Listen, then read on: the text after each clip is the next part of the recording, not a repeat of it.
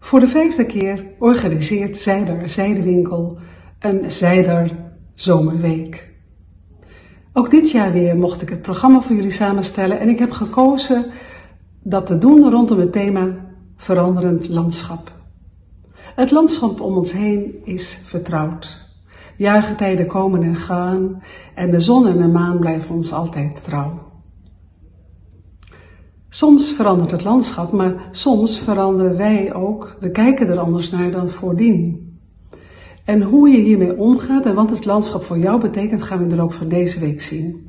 Van maandag 4 tot en met vrijdag 8 juli gaan we in een groepje van maximaal 8 deelnemers aan de slag rondom dit thema.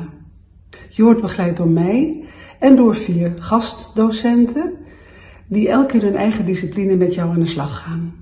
Druktechnieken, grafische technieken, mixed media, schilderen op natuurzijde, filten en werken met mos.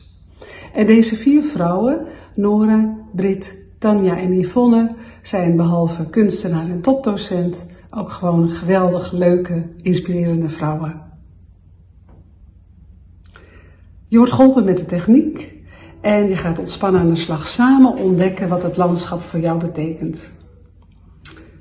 Het is gewoon heerlijk om een week de tijd voor jezelf te hebben en aan de slag te gaan met het ontwerpen en het realiseren met en op zijde, vorm en kleur. Dat doet ieder mens goed. Je bent van harte welkom in Heemskerk, waar je te midden van polders, meren, kastelen zelfs, duinen en het strand een ultieme vakantieweek kunt hebben. Van harte welkom.